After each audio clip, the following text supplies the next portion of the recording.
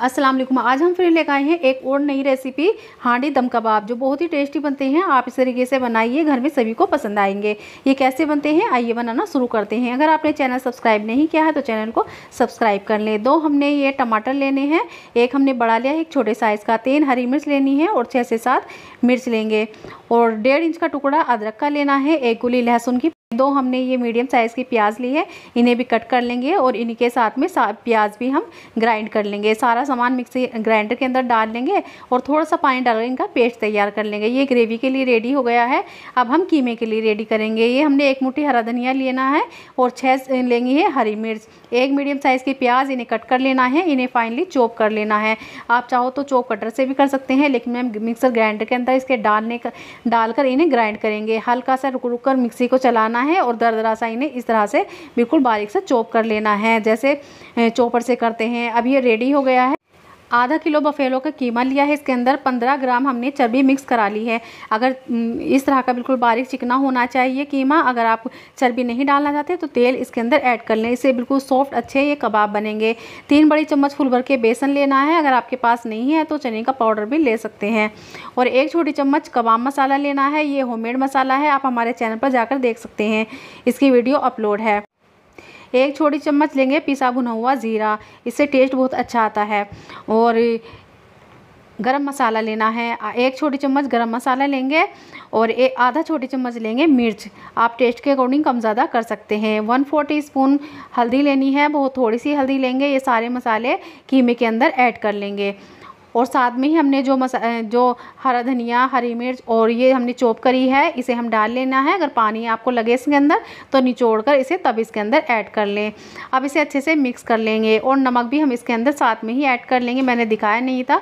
One T हम नमक add कर लेंगे और हमने इसके अंदर दो बड़ी चम्मच फुल भर के अदरक लहसुन का पेस्ट भी ऐड कर दिया है। अच्छे से मिक्स कर लिया है, वो मैं दिखा नहीं पाई। अच्छे से मिक्स करने के बाद खूब अच्छी तरह से हाथों से हमने इसे मैश कर लेना है। और इस तरह से कबाब हम बना लेंगे और सारे बनाकर रख लेंगे। ये सारे बीस कबाब इस कीमे के अंदर बने हैं। इस तरह के ज़्यादा बड़े भी नहीं और ज़्यादा छोटे भी नहीं। अब 200 सौ हम एक कढ़ाई के अंदर तेल गरम कर लेंगे। जब तेल गरम हो जाएगा, इसके अंदर एक एक कबाब इस तरह से डालते जाएँगे। अब कुछ सेकंड के लिए हम इन्हें एक साइड से फ्राई होने देना है। जब इनके अंदर अच्छा सा कलर आ जाएगा इस तरह से, फिर इनके साइड को हम चेंज कर देंगे। अच्छा सा गोल्डन कलर आ जाएगा, इतनी देर इन्हें फ्राई करेंगे। दोनों साइडों से इतने आधे कबाब हमने फ्राई कर लिए हैं, इन्हें बाहर निकाल लेंगे और जो कबाब बचे हैं उन्हें भी हम इसी तरह से फ्राई कर लेंगे। इन्हें निकालने के बाद और कबाब इस तरह से डाल लेंगे और इन्हें भी फ्राई कर लेंगे। अब इतने हम दिखाते हैं आपको। सारे कबाब हमारे फ्राई हो गए हैं। इस तरह से हमने फ्राई कर लिए हैं। आप देख सकते हैं, बहुत ही बढ़िया से इनके अंदर कलर आ गया है। अब ये ऑयल बच गया है, इसी के अंदर हम ग्रेवी बनाएँगे। आप चा, आपको ज़्यादा लगे तो निकाल सकते हैं। वैसे ये बिल्कुल सही है, क्योंकि फ्राई होने के बाद ही थोड़ा सा कम भी हो गया है। अब इसके अंदर जो हमने शुरू में ग्रेवी तैयार की थी, वो सारा पेस्ट इसके अंदर डाल लेना है। थोड़ा सा पानी ग्राइंडर के अंदर डालकर, हिलाकर वो भी इसके अंदर डाल लेंगे। अब इसे बराबर चलाते हुए भून लेना है। थोड़ी सी देर जब ये अच्छे से भून जाएगा, इसके अंदर हम मसाले ऐड करेंगे। डेढ़ बड़ी चम्मच फूल भर के धनिया पाउडर लेना है और एक छोटी चम्मच कश्मीरी लाल मिर्च। इससे कलर बहुत अच्छा आएगा और आधा छोटी चम्मच लेंगे हल्दी। एक छोटी चम्मच नमक लेंगे और आधा छोटी चम्मच गरम मसाला, नमक, मिर्च, आप अपने टेस्ट के अकॉर्डिंग कम ज़्यादा कर सकते हैं। अब सारा मसाला इसके अंदर डाल लेना है और डालने के बाद अच्छे से मिक्स कर लेना है इस तरह से। अब इस मसाले को खूब अच्छी तरह से हम भूनेंगे। हमें इसके अंदर पानी डालने की ज़रूरत नहीं है, इसी के अंदर ये मसाला भुन भी जाएगा। अगर आपको लगे पानी डालने की ज़रूरत है तो एक दो चम्मच डाल भी सकते हैं। अब इसका ऑयल सारा ऊपर आ जाएगा, इतनी देरी से अच्छे से भून लेना है। अब इतने हम दो बड़े चम्मच हमने मगज़ लिए हैं और दो बड़ी चम्मच ही हम गोला लेंगे। इनका हम पेस्ट बना लेंगे थोड़ा सा दूध डालकर। अब ये मसाला भुन गया है, इसके अंदर भी मगज़ का पेस्ट ऐड कर लेंगे। इससे ग्रेवी बहुत अच्छी हो जाएगी थोड़ा सा पानी डाल लेंगे।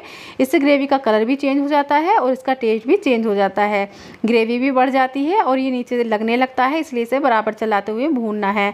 जब इसका ऑयल सेपरेट होने लगे तो सारे कबाब इसके अंदर डाल लेंगे और जो ऑयल प्लेट के अंदर लगा है, वो भी सारा इसी के अंदर ऐड कर लेंगे। अब इसके अंदर एक बड़ी चम्मच कसूरी मेथी को हमने हल्का सा तवे पे रोस्ट करके, हाथ से चूरा करके इसके अंदर ऐड किया है, इससे फ्लेवर इसका बढ़ जाता है।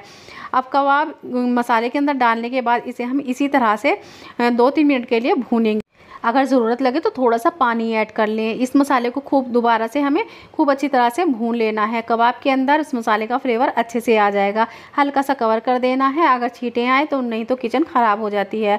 अब ये मसाला अच्छे से भून गया है। इस तरह का ऑयल भी ऊपर आ गया है। अब इसके अंदर पानी ऐड करेंगे। तो ग्रेवी के हिसाब से आप एक से डेढ़ गिलास पानी ऐड कर सकते हैं। दो कप के हिसाब से। तो मैंने इसके अंदर एक गिलास फुल भर के पानी ऐड किया है। क्योंकि जब हम इसे पकाएँगे तो थोड़ा पानी भी कम होगा। अब इसे हम एक बार पक्कन पड़ा देंगे। जब पक्कन पड़ जाएगी, गैस को स्लो करके पंद्रह से बीस मिनट हम इन्हें पकाना है और बीच में एक बार हम चला लेंगे। बीच में हमने एक बार चला दिया है और बीच में ही हम इसके अंदर चार से पाँच हरी मिर्च ऐड कर देंगे। इससे फ्लेवर बहुत अच्छा आएगा और थोड़ा सा हरा धनिया बीच में ऐड कर देंगे और हम बाद में ऐड करेंगे। एक बार चला देंगे। चलाने के बाद अब इसे हमें दोबारा कुक करना है दोबारा पकाना है। गैस को स्लो कर, करना है। स्लो फ्लेम पर पंद्रह से बीस मिनट जब पूरी हो जाएँगे उसके बाद गैस को बंद कर देना है। ऑयल ऊपर आ जाएगा। इस तरह का आपको दिखाई देगा। अब जो हमने हरा धनिया बचा लिया था थोड़ा सा उसे भी ऊपर से डाल लेना है और एक बार हल्के से चला लेना है। तो आप इसके अंदर ग्रेवी अपने हिसाब से रख सकते हैं। मैंने इसके अंदर एक गिलास पानी ऐड किया था, आप डेढ़ गिलास पानी भी ऐड कर सकते हैं। तो इसकी ग्रेवी देख सकते हैं कैसी, माशाल्लाह इसके अंदर ग्रेवी भी अच्छी है और कलर भी माशाला बहुत अच्छा आया है। अब दिखाते हैं हम आपको निकाल कर ही कैसे हांडी दम कबाब बनकर तैयार हुए हैं। एक प्लेट के अंदर हम निकाल कर दिखाएँगे और तोड़ कर दिखाएँगे आपको। बहुत ही टेस्टी से हांडी दम कबाब बने हैं और बहुत ही सॉफ्ट, जूसी से बने हैं। इस तरीके से आप बनाइए, बहुत ही टेस्ट लेंगे। अगर आपको ये रेसिपी पसंद आई हो तो एक बार बनाकर ज़रूर देखना और हमें कमेंट बॉक्स में अपनी राय हमें ज़रूर देना। हमारी रेसिपी आपको कैसी लगी, अगर कोई डाउट हो तो हमें ज़रूर बताना। अगली वीडियो में फिर मिलेंगे न्यू रेसिपी के साथ। इस तरह से आप डिस आउट कीजिए। अगर पसंद आए तो एक बार ज़रूर बनाना। अल्लाह अल्लाह हाफिज़